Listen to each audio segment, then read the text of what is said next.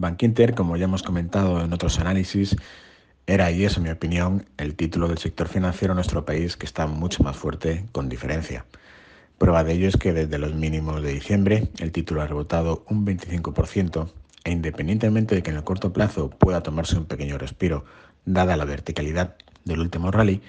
en realidad ya no hay nada realmente importante hasta los máximos históricos que marcó eh, a principios de 2018 la zona de los 5,90 euros, ajustando toda la serie de precios, la serie de precios histórica, a todos los dividendos repartidos. Así que lo importante es que tenemos un nuevo máximo creciente que da continuidad a la estructura de mínimos y máximos crecientes de medio y largo plazo y así no se cae.